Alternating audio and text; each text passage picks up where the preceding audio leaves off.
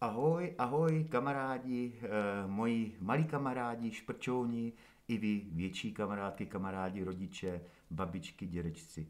Jsem moc rád, že se díváte na ten náš kanál, který jsme včera začali a já mám velkou radost, protože jste se opravdu někteří dívali, potom někteří jste si to pustili ze záznamu. No my jsme včera mluvili o spoustě zajímavých věcí, ale hlavně o důležitých věcech.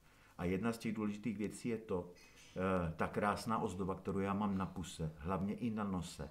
Takže kdybyste šli náhodou ven, museli ven, třeba k paní doktorce, nebo s maminkou a s tatínkem někam, kam musíte, opravdu musíte, tak nezapomeňte na to, že už musíte sebou nosit tuto ozdobu na pusince a na nose, a to je rouška.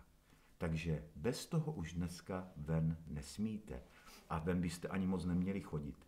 My jsme včera jsme si vyprávěli, samozřejmě jsme dělali spoustu věcí, já jsem vám slíbil, že budeme dělat i rozcvičky. Ale dnes to ještě není možné, protože máme špatný signál. A když je špatný signál, tak by nám to video co? No přece nefungovalo. Ale včera jsme mluvili o spoustě zajímavých věcí. O čem jsme třeba mluvili? To vy víte, že jo? Mluvili jsme o tom, že v té dnešní době, abychom ten zlobivý virus porazili, abychom s ním zatočili, tak musíme jíst hlavně zdravě. Musíme jíst co? Musíme jíst tady to, co mám před sebou, že jo? Ovoce a zeleninu. Každý den pořádnou porci vitamínu. To je strašně důležité. Potom je strašně důležité, abyste moc a moc pili, abyste pili pořád, co to jde, protože abychom byli zdraví, musíme nejenom jíst zeleninu, ovoce, musíme dodržovat pořádně pitný režim. Takže ať vám rodiče dají třeba nějakou vodu, ta je úplně nejlepší, anebo ať vám uvaří nějaký čaj, dobrý čaj, který máte rádi. No a co ještě musíme dělat? O čem jsme včera mluvili? Mluvili jsme také o tom, že teď musíme daleko více dodržovat tu hygienu. To je moc důležitá věc.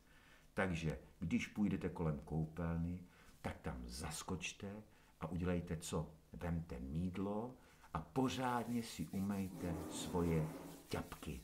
No a pokud doma máte k tomu mídélku ještě věc, které se říká dezinfekční mídlo, tak si kápněte na ruce. Takto. A pořádně si takto ty ruce umejte. Každý prstíček pořádně to udělejte a budete mít ručičky úplně, úplně čisté. Já jsem vám včera sliboval také to, že budeme cvičit, že si uděláme rozcvičku. Ale protože to v těchto podmínkách ještě nejde, tak vám slibuji, že tu rozcvičku budeme dělat od úterka. Teď přes víkend si dáte ještě pauzu, budete cvičit sami. Ale už včera jsme si ukázali, že se dá cvičit i v sedě. Jak jsme to dělali? Zvedneme jednu ručičku takto nahoru, že jo? zvedneme druhou ruku takto nahoru, a teď je vystřídáme. Jedna, druhá, jedna, druhá, jedna, druhá, jedna, druhá. Teď můžeme třeba takto dát zatnout svaly a natáhnout ruce, zpátky zatnout svaly, natáhnout ruce, zpátky zatnout svaly. Teď si procvičíme prstíky, budeme všechno dokola mačkat, mačkat, mačkat, až to všechno zmačkáme a pomačkáme a přemačkáme a až to domačkáme, tak si můžeme zacvičit hlavou, že jo? Můžeme hlavu naklonit na jednu stranu, můžeme hlavu naklonit na druhou stranu, můžeme samozřejmě hlavu předklonit, nebo můžeme hlavu zaklonit. Tak. Takže jíst ovoce a zeleninu, to je paráda. Potom dodržovat hygienu, často si umývat ruce. Když bychom šli ven, musíte mít krásnou ozdobu, vůbec za to nestyďte, protože dneska to, ten, jenom kdo to nenosí, tak ten člověk je strašně hloupý, protože my, abychom vyhráli nad tím šibalem, nad tím nezbedníkem virusem, tak nad tím virem, tak my musíme nosit na puse tuto roušku. Tak a od úterka už potom budeme i pořádně cvičit. Včera jsme si také četli příběh pohádkový, o čem, jestli si vzpomínáte. o klokanovi a klokaní kapse a o tom, že malý klokan, aby mohl s maminkou na nákupy, tak tatínek musel místo koleček k kočárku přidělat takové obrovské pružiny, aby ten kočárek pořádně mohl skákat s maminkou a tak doskákali až do obchodu. A představte si, že se na nás dívali děti z té vzdálené Austrálie. Z toho jsem měl velikánskou radost. Oni mi napsali, že se dívají až v Austrálii a to mi věřte, že to je moc a moc daleko. Tam se letí letadlem celý den a celou noc.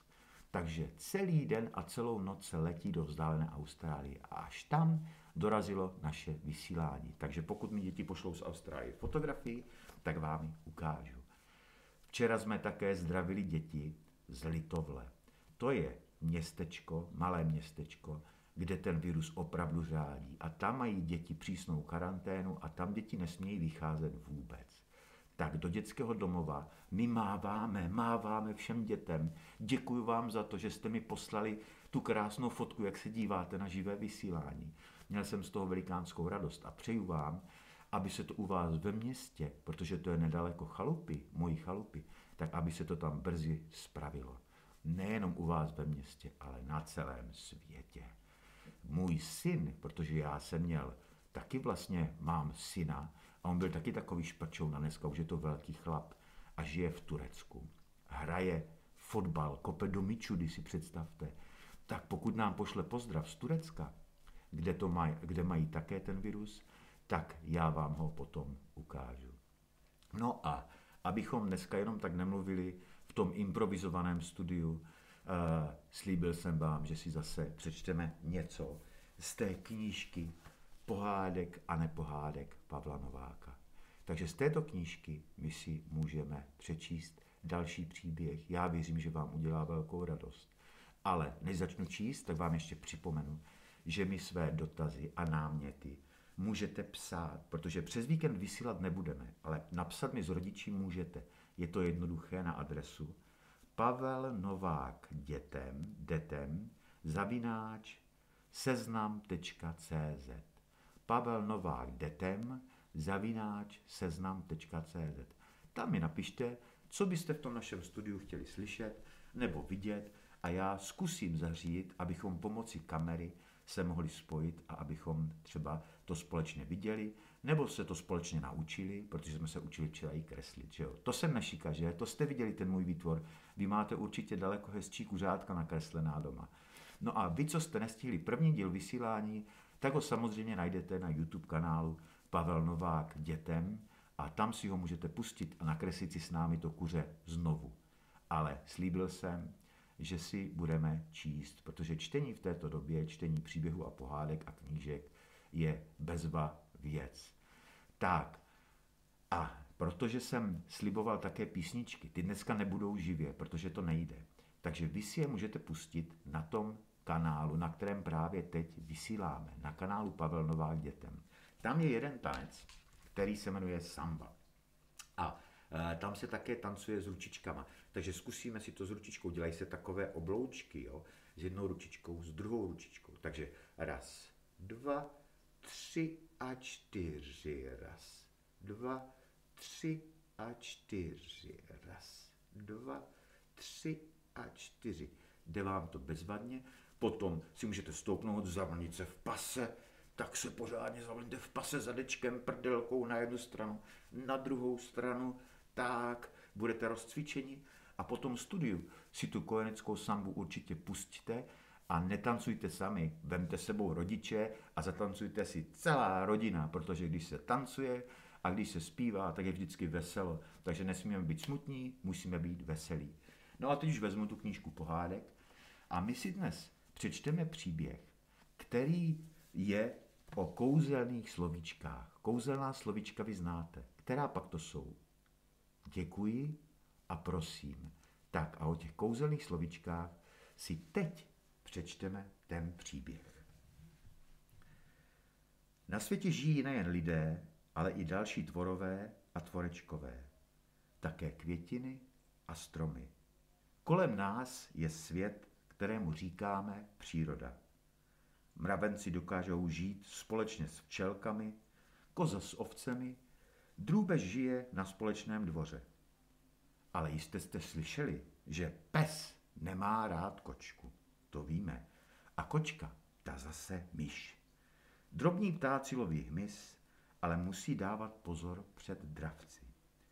Jenže zvířátka si nikdy schválně neublížují, jako to dělají někdy lidé. Takto moudrá příroda zařídila, aby byla ve světě rovnováha. V přírodě si rostliny a tvorové pomáhají. Hmyz a brouci slouží stromům a květinám, přenášejí na svých nožkách nebo sosáčcích jemný prášek z květu na květ a říká se mu pil. Děkuji ti, zašeptá květ jabloně v čelce. Prosím, rádo se stalo. Já ti děkuji za sladkou šťávu, které jsem se napila. Všichni tvorové děkují moudré přírodě za to, že jim dává jíst. Myšky si smlsnou na obilí, ale kdyby nebyly kočky a nežili ptáci, myši by bylo tolik, že by snědli všechnu úrodu, co jsme zaseli. Dravci a šelmy zase dbají, aby se nepřemnožili menší ptáci. I moudří lidé se starají o to, aby byla přírodě rovnováha. Obdělávají pole, sady i záhony květin. Pěstují a krmí zvířata. Ta jim za to také poděkují. Krávy nám dávají mléko, ze které lidé vyrábějí sír a další dobroty. Bů, děkují krávy svou řečí a přežvíkávají trávu, co jim nachystal hospodář. Puti, puti, volá hospodyně na drůbež a sype jí zrní. Kokodák, kokodák, děkuji slepička. Snesu ti za to vajíčka. I já děkuji, slibuje svým kikiriký kohout. Ráno tě zase probudím. Choro, choro, choro, libuje si čuník. Díky za ty dobroty. Až bude čas, dám ti své maso. Haf, haf, ozve se pejsek nad miskou žrádla. Děkuji ti, pane, budu hlídat tvůj dům. Na světě je krásně, když si všichni, všichni rozumí a mají se rádi. A tak vám dám dobrou radu. Když se ráno probudíte, postavte se před zrcadlo a krásně se na sebe do zrcadla usmějte. Celý den se vám bude zdát nádherný. Ať prší, svítí sluníčko nebo mrzne. Buďte vlídní k přírodě, ke stromům a květinám. A pamatujte si, že vám také poděkují. Vůní, barvou a vším, co příroda dává. Buďte vlídní i k sobě a nezapomínejte na kouzelná slovíčka, která znáte. Prosím a děkuji. Pamatujte si, kdo tahle slovíčka užívá, toho mají lidé rádi. Tak to byl další pohádkový příběh z naší knížky Pohádek. No a e, protože to dnešní studio, jak jsem říkal, je velice improvizované, e, uvidíme, jak budeme dále pokračovat. Nezapomeňte mi psát své náměty a dotazy s maminkou a s tatínkem, protože vy jste ještě malinci šprčouni.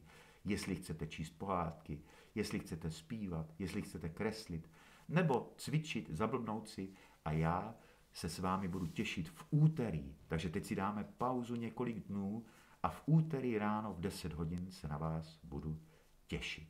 A to už budeme vysílat opravdu naplno, živě, udělám si doma třeba takovou tělocvičnu a pořádně si zacvičíme. Takže se na vás moc a moc těším. Jeste ovoce a zeleninu, umývejte si často ťapky, ručičky, poslouchejte doma rodiče, rodičům řekněte, ať si s vámi hrají, ať vám čtou pohádky, ať si spolu zatancujete třeba tu kojeneckou sambu, kterou najdete s jinými písničkami na tomto YouTube kanále, kterém, na kterém právě vysíláme. Tak se mějte moc krásně a do příště, do toho úterka. Ahoj!